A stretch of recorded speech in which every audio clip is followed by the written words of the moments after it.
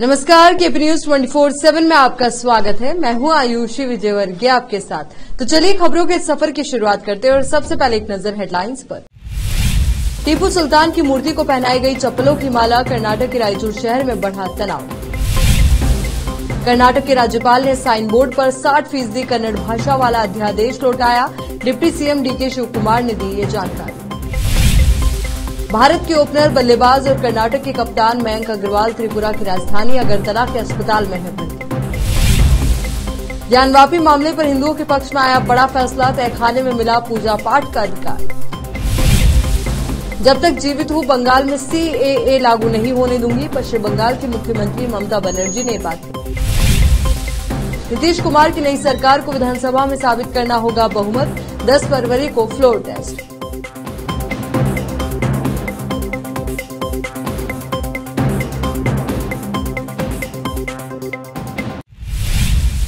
अब देखते हैं समाचार विस्तार से। कर्नाटक के रायचूर ज़िले के सिरवार शहर में बुधवार को मैसूर के पूर्व शासक टीपू सुल्तान की मूर्ति को चप्पलों की माला पहनाने के बाद तनाव पैदा हो गया।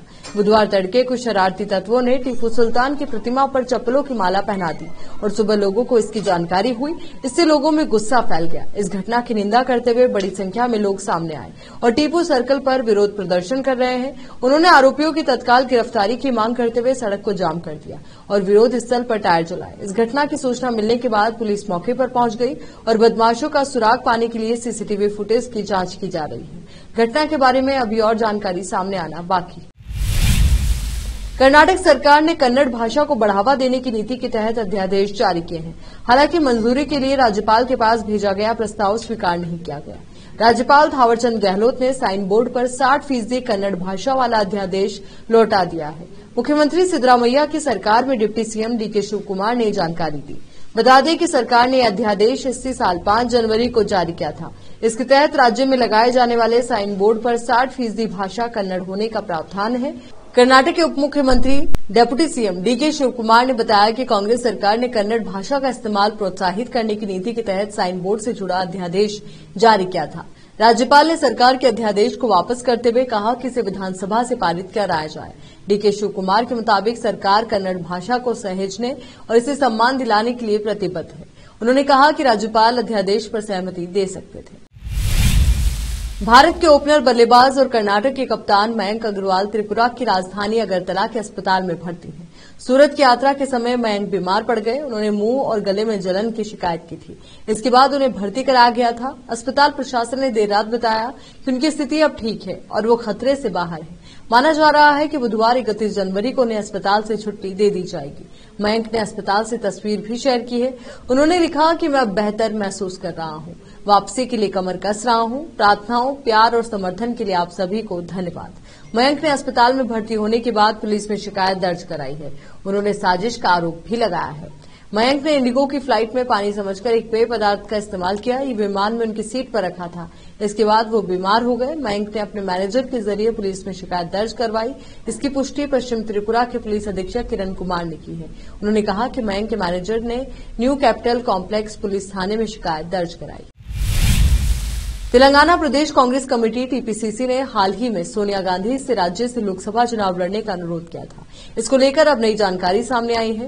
पार्टी की तेलंगाना यूनिट चाहती है कि सोनिया गांधी खम्मम सीट से चुनाव लड़े। इसको लेकर तेलंगाना कांग्रेस ने पार्टी आलाकमान के पास आधिकारिक प्रस्ताव भी भेज चुकी है। हालाँकि इस प्रस्ताव पर गांधी परिवार की तरफ़ से कोई प्रतिक्रिया नहीं आई है। इसके अलावा सोनिया गांधी को तेलंगाना की मेडक नलकोंडा जैसी सीटों से भी चुनाव लड़ाने की चर्चा है। लेकिन उच्च सूत्रों के मुताबिक उन्हें खम्मम सीट से मैदान में उतारने पर गंभीरता से विचार चल रहा है। तेलंगाना प्रदेश कांग्रेस कमेटी को लगता है कि सोनिया गांधी की तेलंगाना से चुनाव लड़ने से पार्टी को सभी सीटों पर फ़ायदा मिलेगा। हालाँकि पार्टी में एक वर्ग ये मानता है कि राहुल गांधी पहले ही दक्षिण भारत के केरल के वायनाड से सांसद हैं। अगर सोनिया गांधी भी दक्षिण भारत से लड़ती है तो इससे उत्तर भारत में अच्छा संदेश नहीं जाएगा और बीजेपी को खुला मैदान मिल जाएगा। महाराष्ट्र में मराठा आरक्षण की मांग कर रहे कार्यकर्ता मनोज जरांगी की अगुवाई में आंदोलन हो रहा है। बीते करीब सात महीने से आंदोलन के बीच बॉम्बे हाईकोर्ट में जनहित याचिका पीआईएल दायर हुई।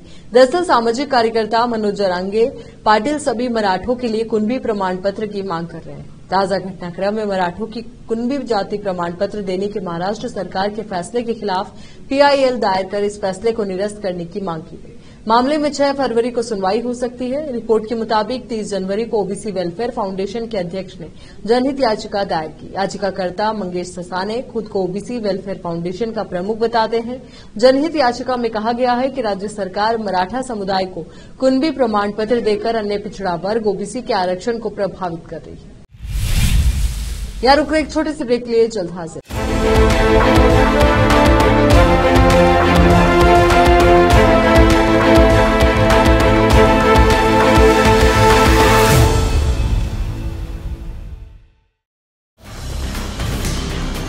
हिंदुस्तान के हर कोने में हम हैं मौजूद। 24 घंटे हालात पर गहरी नज़र। खबरों से जुड़े चुपते सवाल और आपको दिखाता है धार्मिक, सामाजिक, राजनीतिक, लोकल और इंटरनेशनल न्यूज़ की सबसे बेहतर कवरेज। जो आपको रखती है हर पल बाखबर। देश और दुनिया भर की खबर के लिए देखते रहें केपी न्यूज़ 24/7 ब्रेक के बाद एक बार फिर से आपका स्वागत है। काशी ज्ञानवापी से जुड़े अलग अलग मामलों की सुनवाई वाराणसी जिला न्यायालय में लगातार जारी है। इसी कड़ी में आज यानी कि बुधवार को ज्ञानवापी परिसर से जुड़े सोमनाथ व्यास जी के तहखाने में नियमित पूजा पाठ को लेकर वाराणसी जिला कोर्ट ने बड़ा फैसला सुनाया है। कोर्ट ने व्यास जी तहखाने में हिंदुओं को पूजा करने का अधिकार दे दिया है। कोर्ट ने साथ में ये भी निर्देश दिया है कि सात दिन के भीतर वहाँ पूजा कराने की व्यवस्था की जाए। बीते मंगलवार को हिंदू मुस्लिम पक्ष ने इस मामले को लेकर अपनी अपनी दलीलें पेश की थी, जहाँ हिंदू पक्ष ने तयखाने में प्रवेश के साथ पूजा पाठ करने के लिए आदेश मांगा था। वहीं मुस्लिम पक्ष ने इस पर आपत्ति जताई थी। बता दें कि करीब तीन महीने तक आर्कियोलॉजिकल सर्वे ऑफ़ इंडिया के सर्वे के दौरान तयखाने में साफ़ सफ़ाई हुई थी। कोर्ट द्वारा आज दिए गए फैसले पर हर किसी की निगाह टिकोई हुई थी। बता दें कि उन्नीस सौ तिरानवे से व्यास जी तहखाने में बंद पड़ा था। कांग्रेस नेता राहुल गांधी ने मंगलवार को दावा किया कि बिहार के मुख्यमंत्री नीतीश कुमार ने महागठबंधन के सहयोगियों के दबाव में जाति सर्वेक्षण कराने का आदेश दिया, जिसके बाद वो खुद को फंसा हुआ महसूस कर रहे थे। राहुल ने पूर्णिया ज़िले में एक रैली को संबोधित करते हुए जदयू अध्यक्ष को आड़े हाथों लिया। भारत जोड़ो न्याय यात्रा के दौरान यहाँ एक रैली को संबोधित करते हुए कांग्रेस नेता ने कहा कि आप लोगों को ये समझने की ज़रूरत है कि कांग्रेस और आरजेडी द्वारा जाति सर्वेक्षण सुनिश्चित करने के बाद नीतीश कुमार खुद को फंसा हुआ महसूस कर रहे थे और भारतीय जनता पार्टी ने उन्हें बाहर निकलने का रास्ता दे दिया। अपनी भारत जोड़ो न्याय यात्रा के क्रम में पूर्णिया ज़िले में एक रैली को संबोधित करते हुए गांधी ने बार बार पाला बदलने के लिए कुमार पर कटाक्ष भी किया। पूर्व कांग्रेस अध्यक्ष गांधी ने कुमार के अचानक पाला बदलकर महागठबंधन से भाजपा राजग में चले जाने पर उन पर कटाक्ष करते हुए कहा, थोड़ा सा दबाव पड़ता है और वो यू टर्न ले लेते हैं।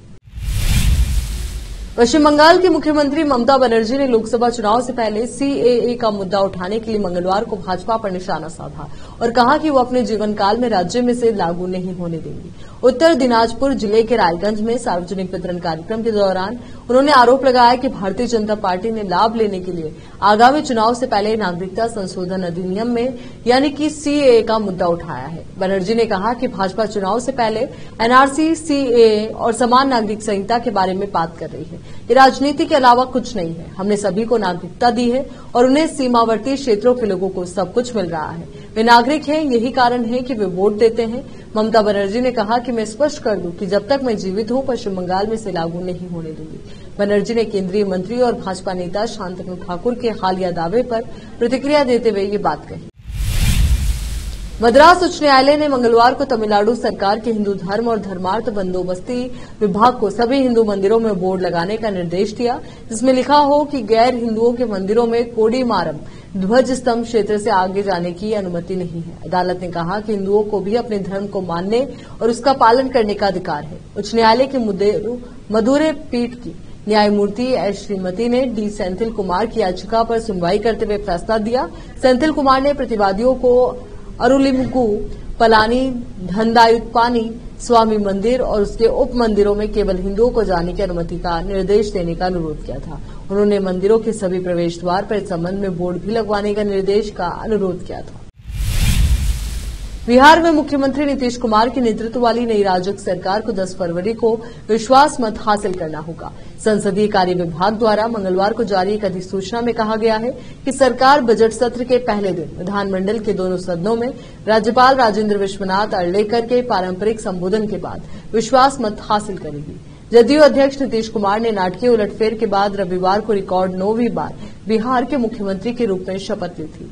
उन्होंने विपक्षी इंडिया गठबंधन से नाता तोड़कर अपने पुराने सहयोगी भाजपा के साथ नई सरकार बनाई, जिससे उन्होंने दो साल पहले नाता तोड़ा था। अधिसूचना में कहा गया है कि आगामी सत्र में कुल बारह कार्य दिवस होंगे और राज्य का बजट 12 फरवरी को पेश किया जाएगा।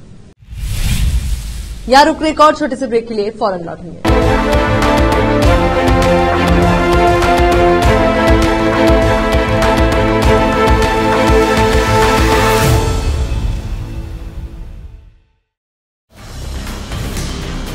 हिंदुस्तान के हर कोने में हम हैं मौजूद। 24 घंटे हालात पर गहरी नज़र। खबरों से जुड़े चुपते सवाल और आपको दिखाता है धार्मिक, सामाजिक, राजनीतिक, लोकल और इंटरनेशनल न्यूज़ की सबसे बेहतर कवरेज। जो आपको रखती है हर पल बाखबर। देश और दुनिया भर की खबर के लिए देखते रहें केपी न्यूज़ 24/7 ब्रेक के बाद बढ़ते आगे। बिहार के मुख्यमंत्री नीतीश कुमार ने इंडिया गठबंधन पर कहा कि मैं उनसे गठबंधन के लिए कोई और नाम चुनने का आग्रह कर रहा था, लेकिन उन्होंने पहले ही इसे अंतिम रूप दे दिया था। मैं बहुत कोशिश कर रहा था, उन्होंने एक भी काम नहीं किया। आज तक उन्होंने ये तय नहीं किया कि कौन सी पार्टी कितनी सीटों पर चुनाव लड़ेगी। यही कारण है कि मैंने उन्हें छोड़ दिया और शुरू में जिनका साथ था, वहाँ वापस आ गया। मैं बिहार के लोगों के लिए काम करता रहूँगा। 2005 की हिट फ़िल्म नो एंट्री की अगली कड़ी का लोगों को काफ़ी समय से इंतज़ार है। इस फ़िल्म में सलमान खान, अनिल कपूर और फरदीन जैसे अभिनेताओं के साथ साथ बिपाशा बसु, लारा दत्ता और सेलिना जेटली जैसे कलाकारों के नाम ने नाम किया था। दर्शकों को ये फ़िल्म काफ़ी ज़्यादा पसंद आई थी। अनीस बजमी के निर्देशन में बनी फ़िल्म के सीक्वल पर पिछले कुछ समय से काम चल रहा है और इसे मूल कलाकारों के साथ बनाया जाना था। हालाँकि इसमें देरी होती रही, इस बीच फ़िल्म को लेकर एक नई जानकारी सामने आई है। मीडिया रिपोर्ट्स के मुताबिक नो एंट्री टू को बनाने की तैयारी शुरू हो गई है, लेकिन अब इसे नए कलाकारों के साथ बनाने की बात कही जा रही है। फ़िल्म की कहानी अनीस बजमी ने लिखी है और इसका निर्देशन भी वही करने वाले हैं। एक रिपोर्ट के अनुसार सीक्वल के लिए वरुण धवन, अर्जुन कपूर और दिलजीत दोसांझ को चुना गया है। बताया जा रहा है कि तीनों स्क्रिप्ट को लेकर काफ़ी उत्साहित हैं और उन्होंने फ़िल्म के लिए हामी भर दी है। इस रिपोर्ट में एक सूत्र के हवाले से कहा गया है कि नो एंट्री टू की स्क्रिप्ट काफ़ी मज़ेदार है और इसके तीनों कलाकार काफ़ी उत्साहित हैं। फ़िल्म का निर्माण बोनी कपूर जी स्टूडियोज के साथ मिलकर करेंगे। मध्य प्रदेश की राजधानी भोपाल में इन एक अनोखे निकाह की जमकर चर्चा हो रही है। ये निकाह तो साल 2023 में हुआ था, लेकिन इसका वीडियो अब वायरल हो रहा है। निकाह अनोखा इसलिए है, क्योंकि इसमें दूल्हे की उम्र 103 साल है और दुल्हन की उम्र उनचास साल। भोपाल के रहने वाले स्वतंत्रता सेनानी हबीब नज़र ने 103 साल की उम्र में उनचास साल की फेरोज जहाँ से निकाह किया। निकाह पिछले साल हुआ था, किसी ने रविवार को सोशल मीडिया पर इसका वीडियो वायरल कर दिया। हबीब नज़र की तीसरी शादी है। वायरल वीडियो में हबीब नज़र एक ऑटो में अपनी दुल्हन के साथ निकाह कर वापस अपने घर लौटती थी। वायरल वीडियो में हबीब को लोग बधाइयाँ देते भी नज़र आ रहे हैं। हबीब मुस्कुराते हुए सबका शुक्रिया अदा करते दिख रहे हैं। भोपाल के इतवार में रहने वाले स्वतंत्रता सेनानी हबीब नज़र का पहला निकाह नासिक में हुआ था, दूसरा निकाह लखनऊ में हुआ था। कुछ समय पहले दूसरी पत्नी के इंतकाल के बाद हबीब को अकेलापन सताने लगा, इस पर उन्होंने निकाह करने का फैसला किया। फिरोज जहाँ के रूप में उन्हें नई हम सफ़र मिली, वो खुद भी पति के इंतकाल के बाद अकेली थी। फिरोज के मुताबिक वो इस निकाह के लिए इसलिए मान गई क्योंकि हबीब का ध्यान रखने के लिए कोई नहीं था। चलिए एक बार फिर से नज़र डालते हैं हेडलाइंस पर। टीपू सुल्तान की मूर्ति को पहनाई गई चप्पलों की माला कर्नाटक के रायचूर शहर में बढ़ा तनाव।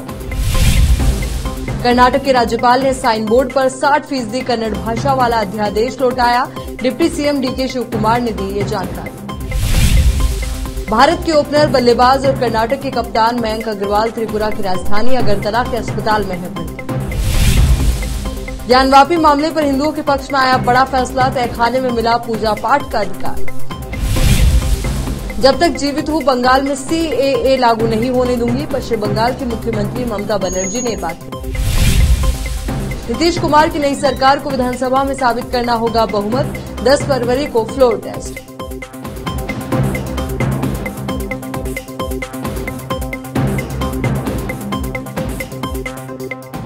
केपी न्यूज़ के इस बुलेटिन में फ़िलहाल के लिए इतना ही। देश और दुनिया से जुड़ी तमाम ताज़ा खबरों के लिए आप बने रहिए KP news twenty four seven के साथ। धन्यवाद।